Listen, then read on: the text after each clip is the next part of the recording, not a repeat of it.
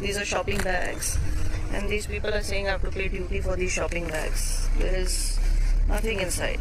तो यकीन मानो दोस्तों, मैंने भी ये न्यूज़ पढ़ा तो मुझे भी विश्वास नहीं हो रहा था कि आखिर ये न्यूज़ है क्या? क्योंकि बहुत बड़ी खबर सामने आ रही है दोस्तों, भूल से भी ये मिस्टेक नहीं करना। नहीं तो आपका सारा सामान वहीं पे जब्त कर लिया जाएगा। तो जुर्माना भी आ सकता है, हो सके तो आपको जेल भी हो सकता है, क्योंकि लाइव वीडियो में पहले मैंने दिखाया दोस्तों, उसके बाद दोस्तों न्यूज़ के ऊपर आपसे बात कर लेता हूँ। तो दो बहुत बड़ी खबर है और एक वर्कर के नाते अगर गल्फ़ कंट्री से ट्रैवल करते हो दोस्तों, ये वीडियो ज़्यादा से ज़्यादा शेयर करें ताकि उनको जानकारी मिल जाए। क्योंकि बड़े लोगों को दोस्तों ट्विटर के माध्यम से और भी बहुत सारे सोशल मीडिया के माध्यम से मेल के थ्रू उन लोग तक ये खबर पहुँच जाता है। मगर वर्कर कैटेगरी के लोगों तक दोस्तों बेसिकली जो गल्फ़ कंट्री में काम करते हैं, उन तक ये सब न्यूज़ नहीं पहुँच पाता है। क्योंकि इंटरनेशनल मीडिया या हमारा भारत का जो मीडिया है, वो लोग तो ये सब छोटी मोटी न्यूज़ बताती नहीं है, क्योंकि उनको टीआरपी मिलता नहीं, इसलिए दोस्तों। तो बहुत बड़ी अपडेट है दोस्तों तो चलिए स्टार्ट करता हूँ, बताता हूँ पहला अपडेट के बारे में। तो पहला अपडेट ये है दोस्तों कि अभी से थोड़ा दिन पहले, यानी चार पाँच दिन पहले एक अपडेट आया था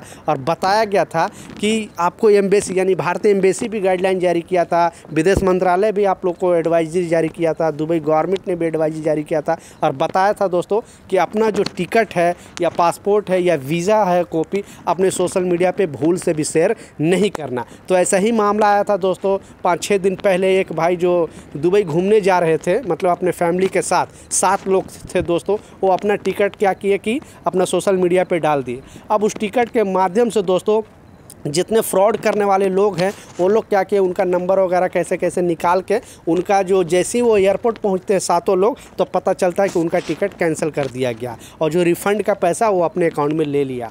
तो सीधा सा फंड है दोस्तों, आप भूल से भी दोस्तों अपना जो पर्सनल डॉक्यूमेंट वो शेयर नहीं करना, क्योंकि बहुत सारे लोग खुशी के मारे क्या करते हैं कि सोशल मीडिया पर डाल देते हैं फेसबुक पर व्हाट्सअप पर या अपना जो भी सोशल मीडिया अकाउंट पर डाल देते हैं, फिर उनको उल्टा भुगतना पड़ता है। बाद में दोस्तों उनको वापस अपना घर वापस आना पड़ा, जाना था दोस्तों दुबई और चले गए सीधा घर। इसलिए आप इस बात का लाजिम ख्याल रखें। दूसरा जो सबसे इम्पोर्टेंट अपडेट है दोस्तों, जैसा मैं शॉर्ट वीडियो में दिखाया, एक कश्मीर की लड़की है जो अदर कंट्री से ट्रैवल रही थी, ठीक है?